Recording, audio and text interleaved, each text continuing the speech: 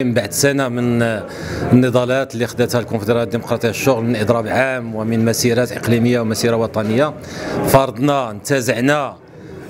مكتسبات بالنسبة للطبقة العاملة علما أن الطبقة العاملة تستحق أكثر نظرا لمجهودها وظروف اشتغالها كجزء من ثمرات الإنتاج.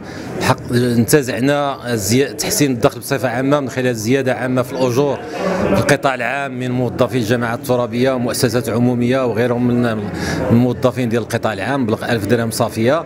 وكذلك بالنسبة للعاملات والعمال في القطاع الخاص هو الرفع من الحد الأدنى للأجر.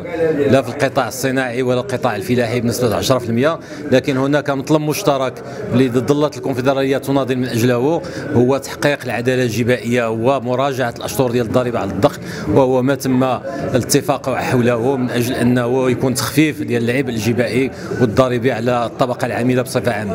هذو آليات ديال تحسين الدخل علما أن الشعار هو نضال مستمر سيستمر النضال من أجل مكتسبات لأنه الظرفيه التي يعرفها المغرب وعرفها في السنوات الأخيرة. آه، كانت فيها ارتفاعات غير مسبوقة ديال نسب التضخم واستمرار ارتفاع الأسعار في العديد من المواد وهو ما يفرض على الدولة مواصلة تحسين آه، الوضعية المادية والقدره الشرائية من خلال الآليات ديال تفعيل السلم المتحرك للأجور. كاين قضايا أخرى اللي هي أساسية. إما حوارات قطاعية ما مكتملاش أو ما كايناش هو أنه التزام ديال مواصلة الحوار على مستوى القطاعات التي كانت تاخذ احتجاجات من جماعات وعدل وصحة وتجهيز وغيرها من من القطاعات من أجل مراجعة الأنظمة الأساسية وتحقيق المطالب ديالها. وكذلك المساله المتعلقه بالهيئات المشتركة من مهندسين ومتطرفين. كاين المسألة الأخرى اللي هي أحد القضايا التي ناضلت الكونفدرالية منذ تأسيسها إلى الحريه النقابية واليوم بعد التراجعات اللي عرفتها السنوات الأخيرة من أجل احترام كامل الحريه النقابية واحترام الحقوق الاجتماعية ديال خاصة في القطاع الخاص. وكاين أيضا من القضايا اللي كانت موضوع حوار هي كل ما يتعلق بالتشريع الاجتماعي. كل ما يتعلق بالقضايا المجتمعية التقاعد ليس هو ملف مجتمعي يجب احترام المنهجية ديال التفاوض حولها والتوافق حولها قبل الاحاله ديالها البرلمان لأن التقاعد خص ضمان المكتسبات وخص مراجعات ديال الحكمه لأنه كان فساد في في الصناديق وتم آه، تهريب العديد من من الأموال من الصناديق. معنى ضرورة أن الدولة تتحمل مسؤوليتها والقطاع الخاص يتحمل مسؤوليتها ككلفة. ديال ما يسمى بالإصلاح وأن لا يكون الأجير أو الموظف هو هو اللي يمكن يؤدي هذا هذا سوء التدبير وهذه الوضعية ديال ديال الصناديق. وكاين الحق الدستوري الطبيعي ديال الطبقة العامله وديال الحركة النقابية.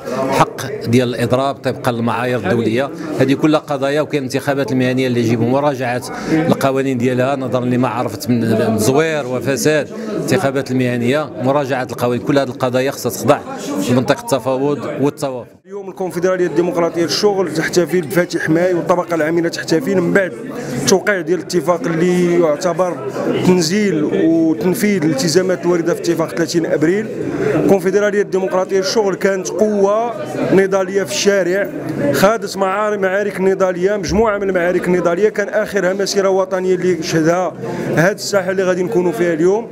ثم كانت كذلك قوة تفاوضية من داخل الحوار وفرضات تحسين الدخل الاولي اللي عرضته الحكومة.